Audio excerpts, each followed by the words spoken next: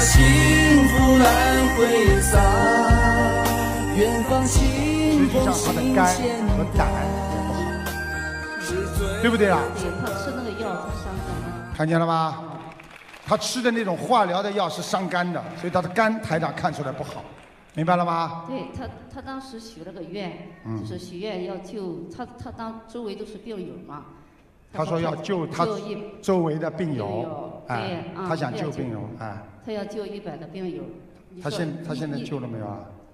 你不是前十天前吧？嗯。你给他放生了没有放了，这些都放了。嗯，许愿就是许这个愿，哎对，他也许这个愿。我告诉你啊，你说不让他看给病人看病了吗？不能看的。对他哦，他也有一点通灵的，对他现在不想，他就是给别人配的药，就是吃的，就是病人有的很多就是治好了的，他们有很多就到我们家去找他。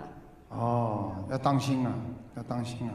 这个他发已经发这个你现在这样吧好吗？没有关系，很简单。他发了愿，对不对啊？你把台长的书给他看，发一百个人，人家信不信是人家的事情。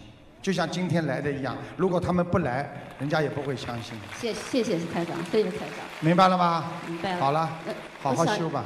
想让你给我们家看看房子，可不可以？看看房子啊，嗯不看的啊，一般不看的啊。可不可以？特殊给你看看啊啊！谢谢你们家是楼房，是。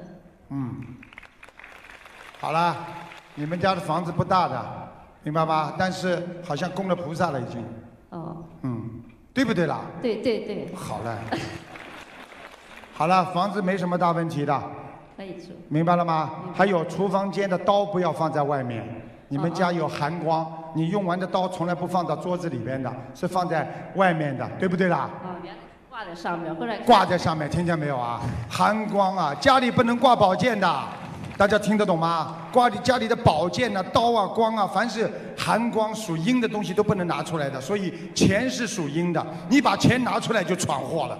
很多人钱一露眼就闯祸了，所以阴阳要分得清楚，听得懂吗？听得懂。你讲到了，所以我就告诉你们，实际上风水啊、命相、啊、所有的东西都有关联的啦，听得懂吗？听懂。好了，谢谢谢谢台长。好。